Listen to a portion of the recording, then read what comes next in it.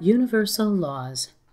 Before we get into either of the laws that will be used here, there's one thing you must find a way to believe before you can believe in anything else in your own power or in your own ability to create your destiny. Before you can believe that you can build a positive world for yourself and those whose lives you touch, you have to believe to the point that you know whatever you've survived can help you build a better future.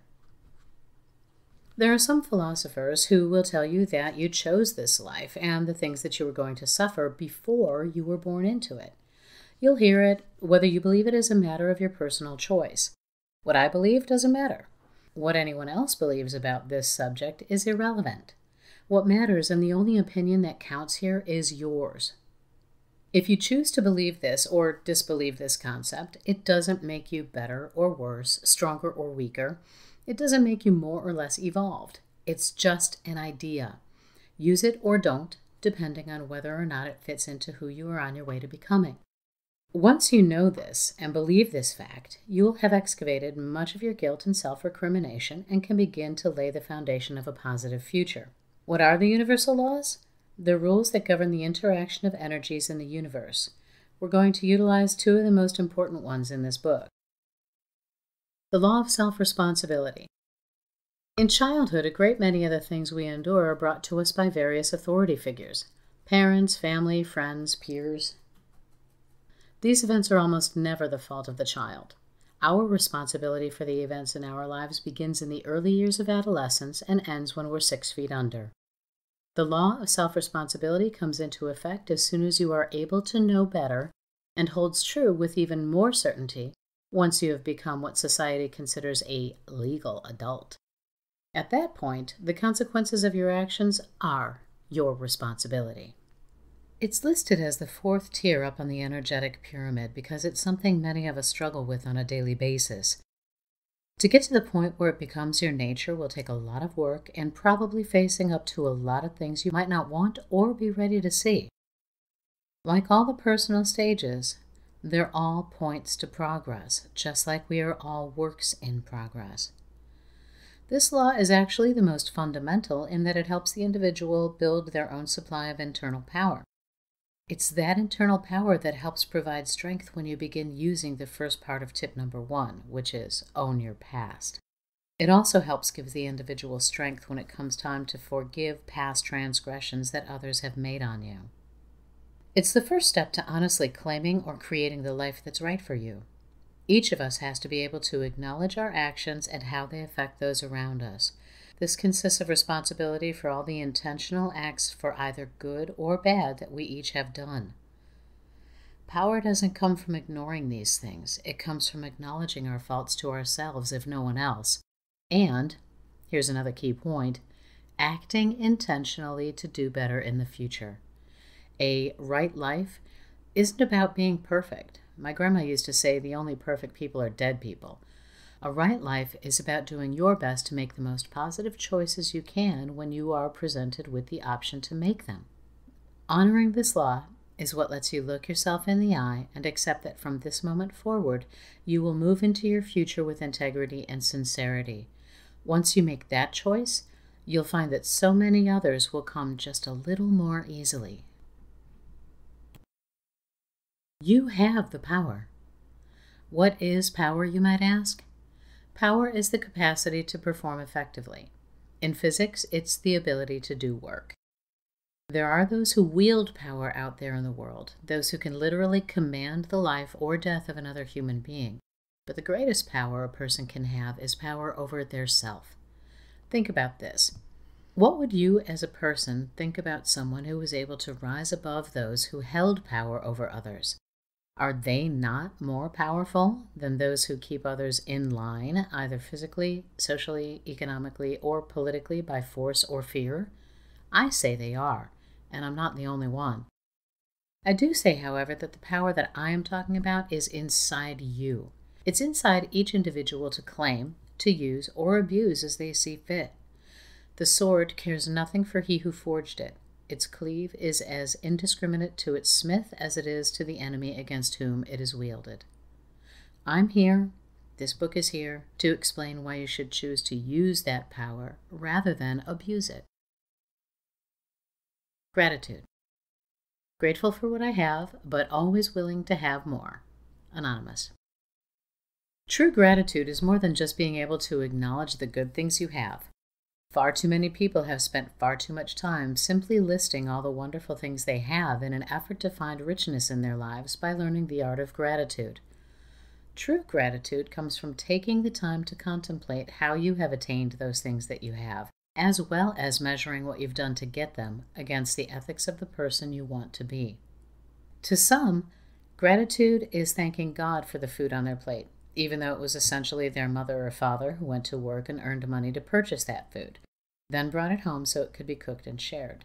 They don't think about the people who make pennies a day doing backbreaking work tossing melons down the line, constantly in fear of losing their job, and then subsequently having to wonder where their family will get their food.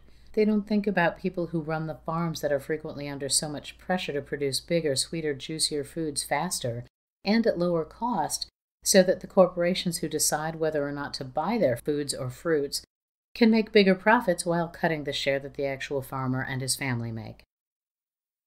To some, gratitude is finding a quarter on the ground that will enable them to take a bus home on a sub zero night so that they don't have to walk a dozen blocks in the bone chilling cold and risk not being able to go to work the next day because they caught a chill.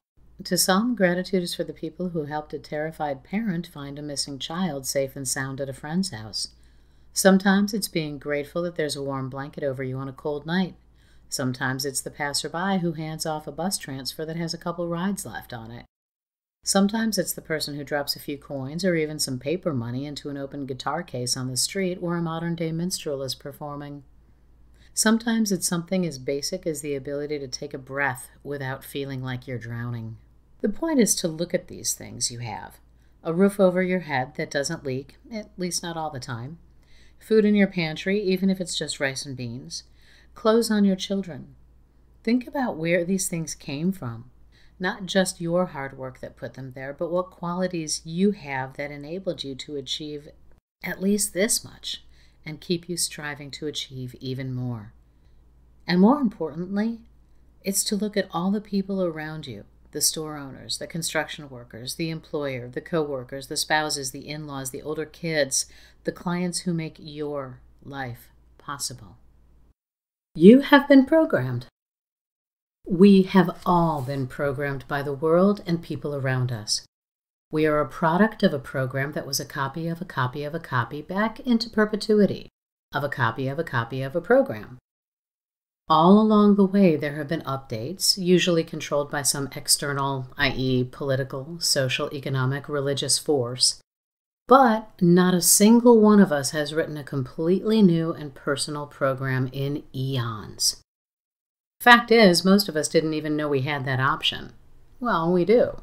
The first step in making any change is the realization that change is possible. If you dare to embrace the idea that personal change is possible, you will find yourself blocked, sabotaged, and discouraged at almost every turn. Your desire to rewrite your own programming must be stronger than any argument against it, even when the most powerful of those arguments comes from within the program you're already running. Before we go any further, there are at least three things you must know in order to make the best possible decision about the person you will become. They are homeostasis, knowns, and unknowns.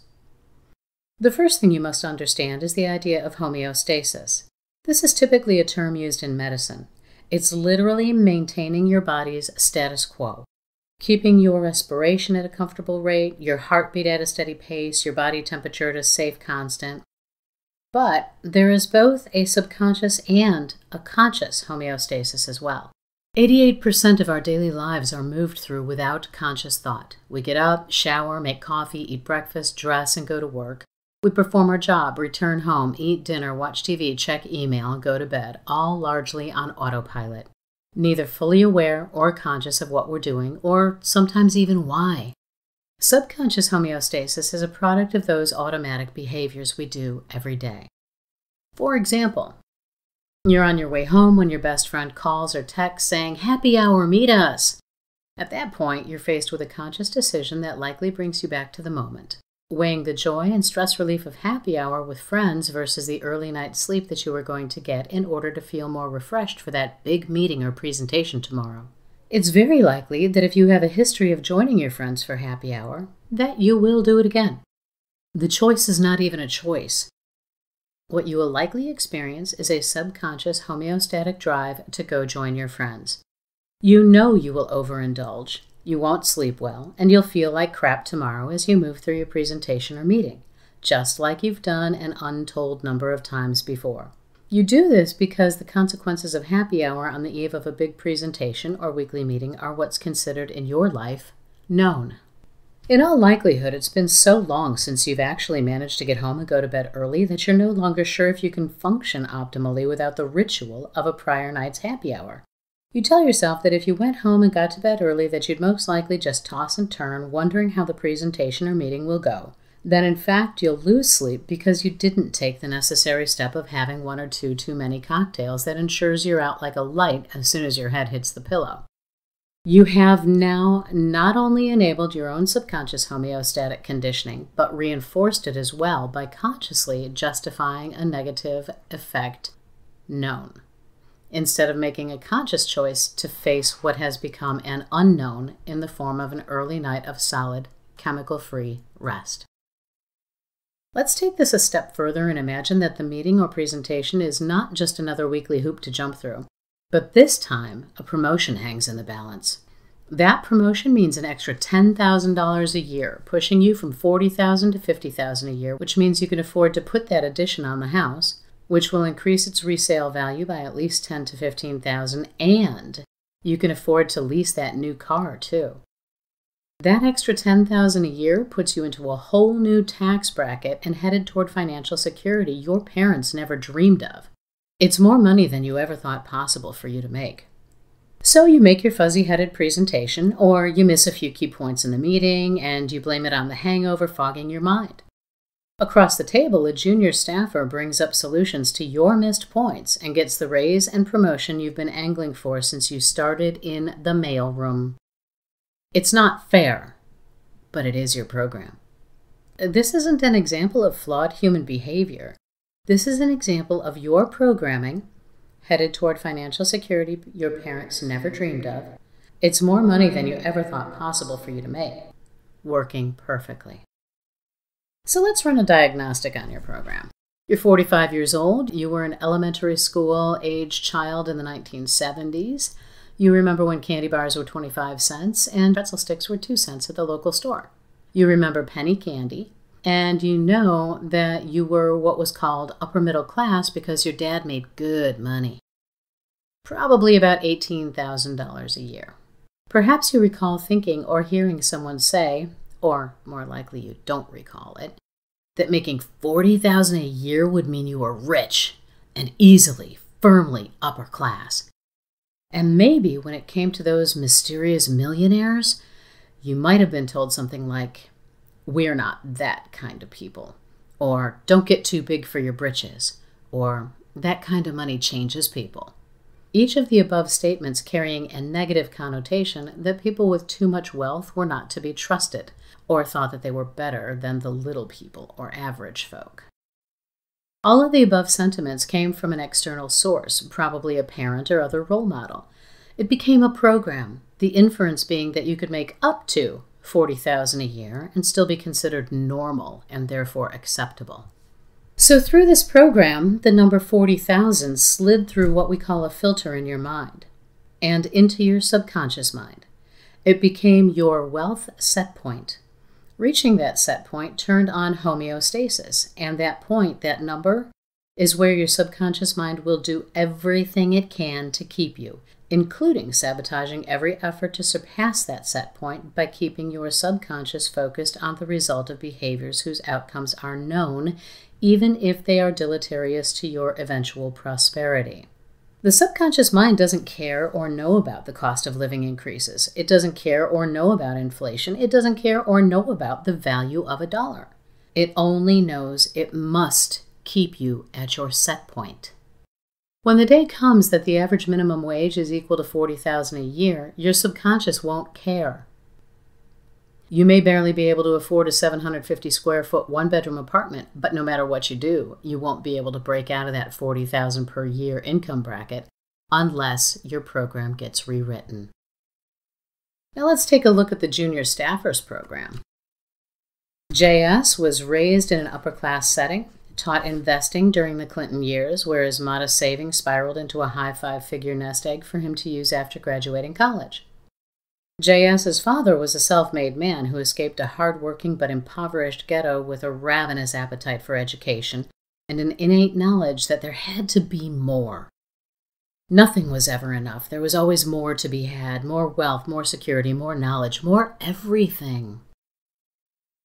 As a result, when JS was born, his father made sure to drill into him that no matter what the external forces were at play, there was no limit to what he could achieve.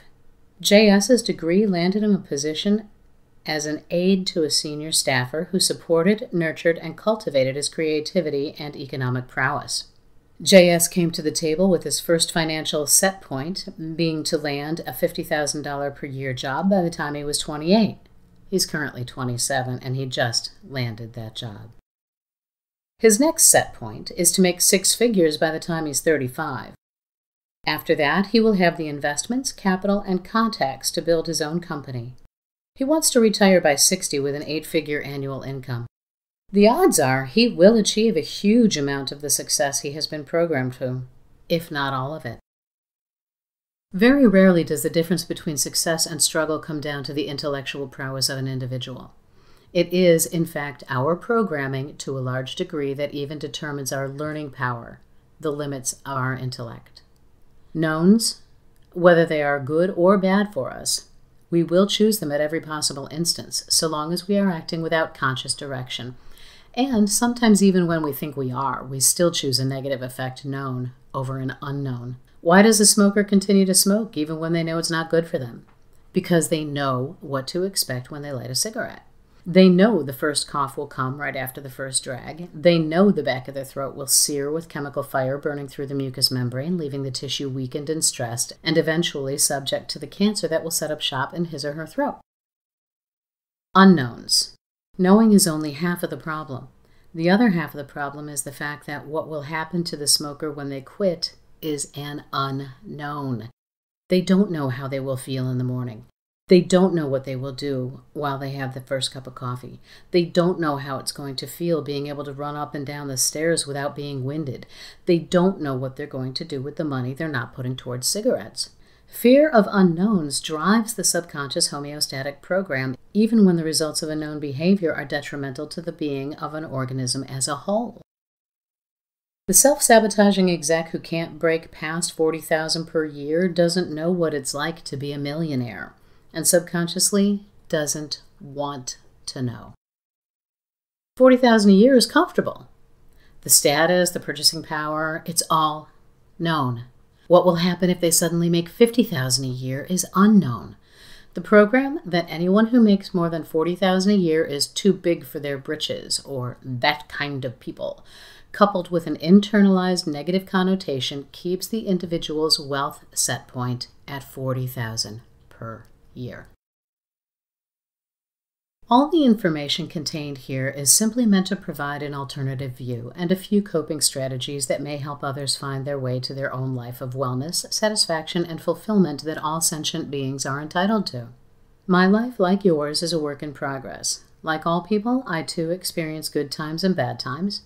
One of the most important keys to building a life of satisfaction and fulfillment is to keep the bad times reduced to the barest possible minimum while increasing the duration of the good times to their maximum potential.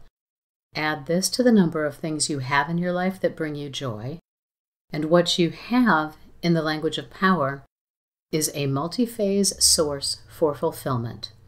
That source is your mindset. Is it a growth mindset or is it a fixed mindset? Look up Carol Dweck, D W E C K, and Fixed Mindset versus Growth Mindset on YouTube. It all starts with you. Rather than filling these pages with the same old hashed and rehashed bits, let's get them out in the open now so that you're able to decide just how ready you are to move forward.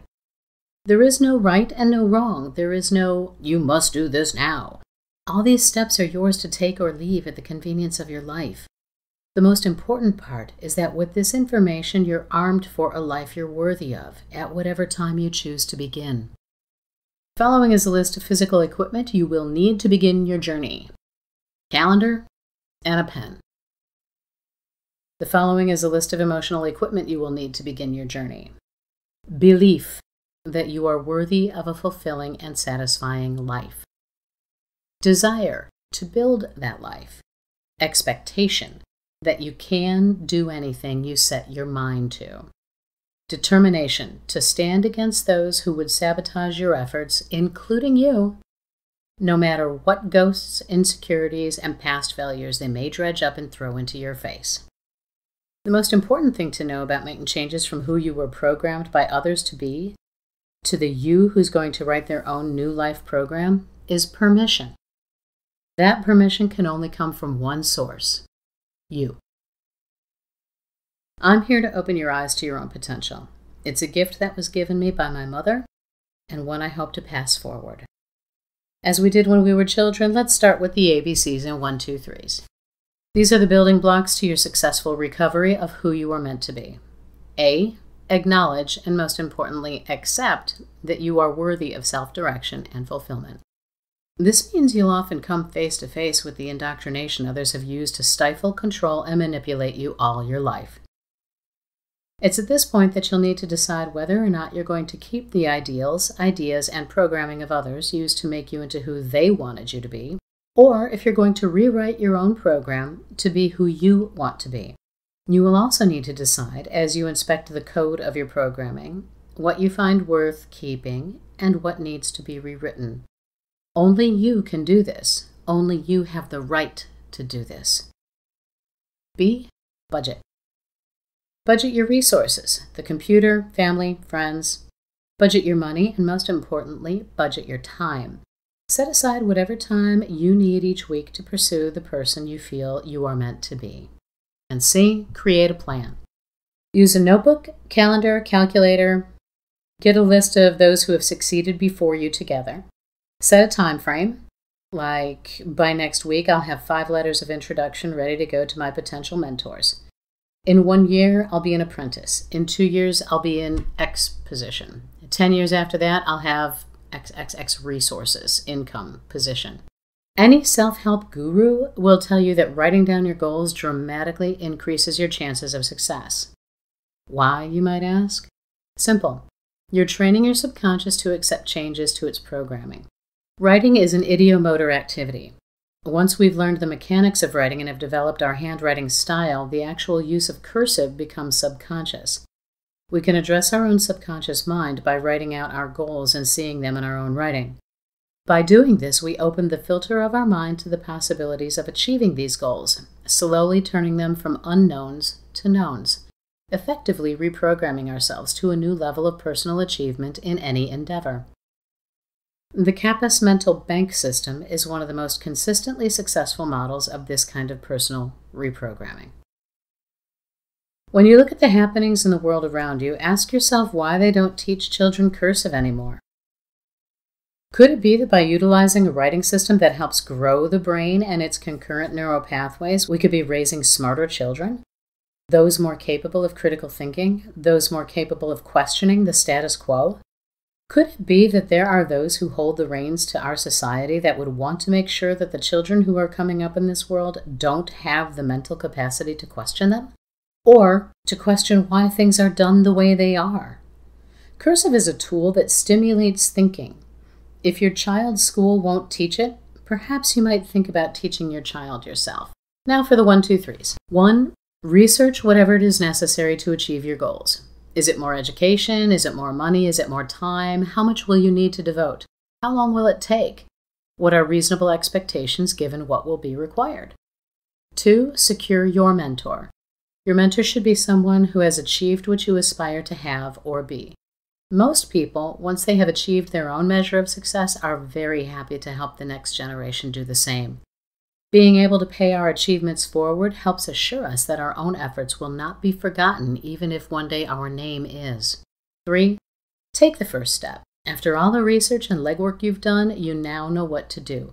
All you have to do is actually do it. So do it. Take the first step of your journey. What we'll find in subsequent chapters are the 10 simple steps that can help you stay on your task as you rewrite your program and become the person you know you were always meant to be.